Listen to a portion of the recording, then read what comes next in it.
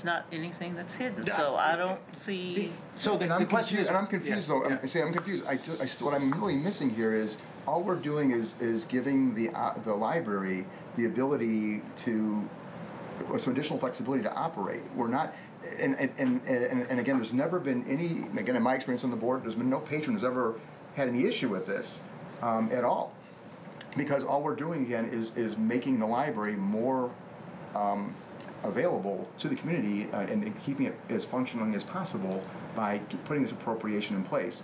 And all you're doing by trying to, to eliminate it is eliminate a possibility of something that may be uh, of a low occurrence. But the bottom line is, whether you want to call it Johnson's Law or Murphy's Law, if we take that away, this in the next five months or five days, something's going to happen where you know we're, we're going to have a uh, you know an appropriations or an issue where the appropriation having been there would have been of help. It's just it's just and, and as I said, there, there's more random things happening in the in the environment, natural you know natural you know, as I said, storms or lightning. You know, so as I said, if we had a major speaker here, for example, and we needed to shift that event on a few hours' notice or a day's notice. That's the kind of thing, you know. And there's all kinds of other there's other contingencies as well, but but I really I, what I'm what I'm missing is, Yeah. in my mind, and again, having run several businesses, this is a healthy, prudent thing to do to protect, in the case, the business of the library, and by extension, the community. So. And it costs our it costs residents zero. nothing. It costs zero, and, and, and there will be no there's no expenditure unless unless an unexpected need arises, and then we we. And then the board has to approve that. Yes.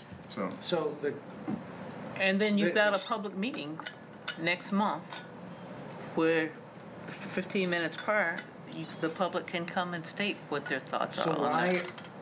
I'll, I'll ask it again or make my comment slash question. If all we're really trying to do is in the extremely unlikely event in Wolf's Law or Murphy's Law that something bad will occur, we can cover that with one separate line item of four hundred thousand dollar contingency. But there isn't any need, if, if that's the objective, we, we can cover it with a line item, pick a figure. But it only, in my opinion, leads to confusion with two separate documents, both of which have the word budget. I appreciate one happens to say budget. I appreciate it simply authorizes. I appreciate it's an ordinance.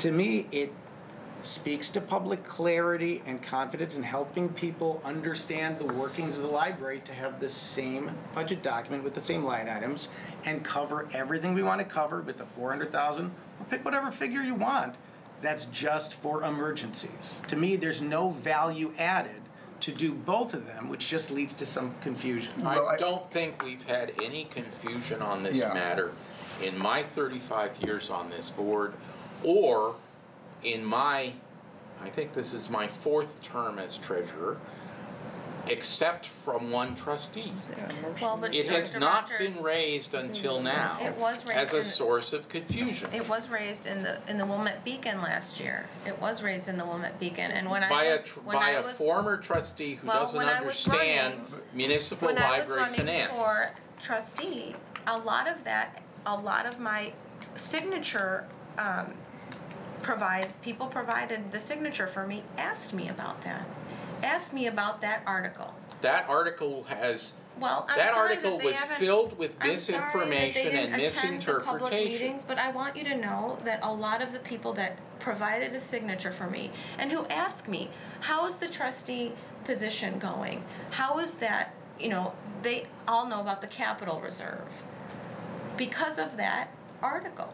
So you may not realize it, but that brought a lot of attention It to did, our but, budget. But, but like Trustee Rogers said, it brought a lot of confusion, and because Confusion. because the You're article was exactly right. inaccurate, all it did was create it. So it created what- an issue what- out of nothing. You're exactly right, Okay, but what wait, Director but- Johnson said is very valid. But there's one more People point. are I, I. I misspoke about one Oh, thing. Uh, I- I that's okay. and I don't. Wait, we should talk about this in the finance committee. I just want to say. No, I misspoke. okay. I misspoke about one thing. The reason you, for transparency purposes, the reason you have each line item as the 10% extension is because there are other things that can happen besides a natural disaster when you need to spend money. There could be an opportunity for something in, in, in a department or in a resource that becomes available for the library to acquire. And if we have a, if we have a budget only, f- and again, I'm only using this as an example. I get it. But if, if we have a, a, a collection of books and all of a sudden a school, the school decides they're gonna do a special event around some book, we have to go out and buy a thousand more copies of the book. We have the ability to do it. And that's, a- that's a, not a great, I mean, that's, that's the concept behind the appropriation. We then have the ability to be flexible and nimble, again, to serve the community. And it's n- in no way to take advantage of anything, but it becomes more transparent because we see, okay, we would see later that, okay, there was a ten percent appropriation in books, and we spent some of that ten percent in books. If we have a lump sum slush, slush fund, then it becomes very, it becomes potentially much more ambiguous because it's a slush fund and not a, a specific line item Sure. uh, extension of the budget, of the budget items. Are there any The other discussions Yeah, or done. different information or, or points that you wanna make before we throw a motion on there and do a vote and see where everybody stands? I think it's worth just noting to the trustees that the perception of a different budget, you know, final figures and the budget and appropriation is confusing. The perception, sorry, is important because it's confusing to the, you know, kind of in layman's terms to the, you know, average Joe out there who could pick up, you know, who wants to maybe pick up the beacon next week or last week, you know, and, and we were in the, you know, article, or we were, we were in the beacon two weeks ago after our last meeting, so. I But it's think confusing. It's important that we provide It's maybe confusing because the legislation that authorizes us to levy taxes and budget and have appropriations is written in the General Assembly for purposes other than clarity. So we follow what the law requires for library districts. We follow what our attorneys recommend as prudent financial management. That's what the appropriation ordinance and the budget and the levy are intended to address. I have been, you know, I, I spent several years attempting to explain these things for school districts, municipalities, libraries, etc., as a newspaper reporter. And I explained them to the writers for other media as well. And I ran a summer seminar at Northwestern on how to understand school and municipal budgets for that purpose. The bottom line is, it's not written to be clear and understandable. Hmm. That's not something we control. The legislature made those judgments. We operate under the Illinois Library District Act. And the recommendations we receive from our attorneys and our auditors about how best to manage within those boundaries. And that's what these materials and this, these ordinances are intended to implement. I don't expect that there will never ever be any confusion because it's not written in plain English and it's difficult to understand sometimes. That does not necessarily mean that we should abandon the principles of sound financial management for library districts.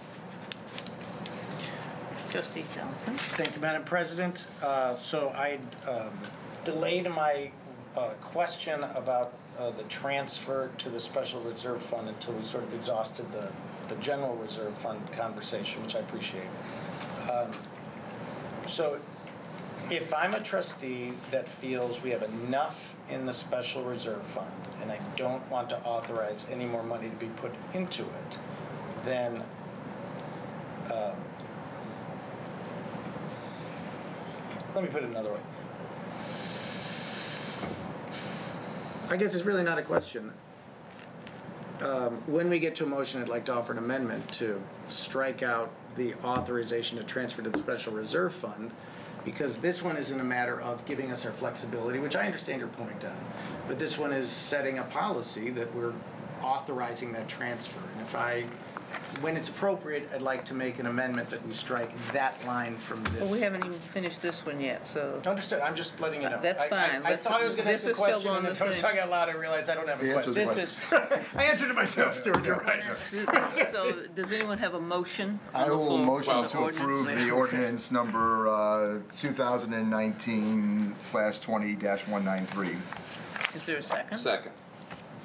Roll call vote? And May I amend that motion? No. That, you, the transfer doesn't. Yes, I think this would be the opportunity Okay. for an amended motion. Okay. Well, we need to second this one. We have a second. I seconded. seconded it. Trustee Rogers seconded. It. So my uh, motion to amend this ordinance is to strike the $200,000 that authorizes the transfer to the special reserve fund. I think it's line, what is it, V? Um, That's my opinion. So that's my motion, or my amend, my motion to, my motion to amend the motion on the floor is to strike out that $200,000 line item. That's the, um, It is, uh. Item five. Item five, five. transfer to B and E Special Reserve And that's off of the appropriations. From amendment, general uh, fund. Our appropriations amendment, okay. Thank you for the procedural help.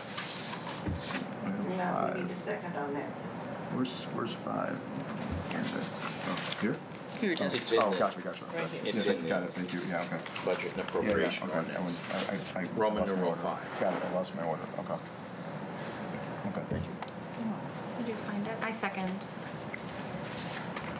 Roll call vote? Okay, trustee Riddle, Abstain. That- Try- What are we? uh, on the On amendment? the. On the no, we're- amendment. We're. Just on the amendment to strip out the $200,000. So we're voting on that first, okay. Trustee Johnson, Yes. trustee Rogers, No, trustee Wolf, no. Uh, trustee McDonald? No. Okay. So I would note that this is authorization Do we have? for a transfer, not a requirement for a transfer. Right, that's, that was my, I call the question on approval of the ordinance as specified. I'll second that motion. Roll call? Uh, trustee Riddle, Nay. trustee Johnson, No. trustee Rogers. Yes. Trustee Wolf, yes. Trustee McDonald? Yes. It passed? Yeah. Do we need- Yeah. Yeah, Three got a majority two. of people. A majority of the quorum. Okay. Um, may we take a little break for, um, a restroom break, please, if that's possible? I motion, yeah, I motion. Yeah. Motion. A second. Okay. We don't need a motion for okay, that. okay. Thank you. Um, should I look at this later or Oh, not? you can take it with you. Oh, really? It has places listed, but just give it back to. Oh, yeah, okay, if I feel, I don't want to take it because I feel it's too valuable. But were you there, I thought you said you were there a long, long time drink? ago. That's a long time ago. Well, seven years ago, I, seven years ago doesn't seem like, like I thought you That's meant a like- long time I think ago. like twenty years ago. No, I was Or in longer. Taiwan a long time ago. Okay. That's cool, that you do know. Oh, okay. Shame. It's good. It's good. Uh, oh, Every month it's a question. Get enough kids there. yeah, I'd love to see that. Yeah, that was just a day trip. And the plane was late to get going out. There's your politicians, but for this group. Stuart is going to see his son in China. Where is he in China? He's, he's in a place called Han, he'll be, he's not there yet, he's going for his fall term to a place called Hangzhou, which is two hours south of Shanghai. Okay. And then he's, do- and once he's done with him abroad, um, I'm gonna meet him in Shanghai, and we'll spend five days together, and then go to Thailand where my daughter is in the Peace Corps. So, uh, So you've got your fingers all over the globe. my family fingers or my Family Yeah, fingers. you know, my daughter, my daughter, my daughter's been there for over, yeah, over a year and a half, so she's, uh, and, um, and so, I, and I don't know if I'll ever get back to Asia, and, and so I'm gonna, and I couldn't figure out exactly where to go, and I wanted to see the Great Wall. The Great Wall, I told Lisa was on my bucket You'll list. see the, you'll see the Great Wall. It's Well- sort of like cartoonish. shape, Well, that's it's, my, it's uh, like a tourist. One of my one of my business partners um, went to China, and he happened to have some connections that got them into uh, one of the little villages. And one of the Okay. things that was was fascinating was that they had um, satellite dishes, and they had television sets, but no indoor plumbing. Okay. this- Oh. What is that? Yeah, right, our, our, our cultural priorities are, what we're cultural priorities. All right, I think we probably can Can resume. resume now. Okay.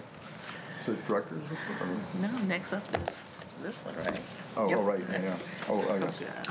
Next up is, uh, ordinance number 2019-20-194, amended and the appropriation ordinance for fiscal year 2018-19. May I have your attention, please? The library will be closing in five minutes. Please bring your materials to the circulation desk You want to talk a little bit about that one? Sure. Um, So what we have before us this evening um, here in the second item is an amended budget and appropriation ordinance. Um, The the fiscal year that just ended on June 30th um, had a combined budget and budget appropriation ordinance. So when there's been a variance, um, while we were under our budget at 9513, there were a few lines that had a variance. And because we didn't call out individually a variance in those individual line items, um, in order for us to align the budget, um, we have to debit from the contingency uh, to cover those, um, those overages that, you know, approximate about 10% on each of those lines. So this is a, this is a, a formality that we regularly go through. Um, It doesn't happen every year, but has happened um, intermittently in, in the past. I think our last instance of this was in fiscal year 13, 14. Um, So I'm happy to take any questions that you may have about the document that's in front of you. So big picture, this is basically um, a technical thing. I think this is more of a formality. That's kind of part and parcel of the, the way that the document was originally drafted.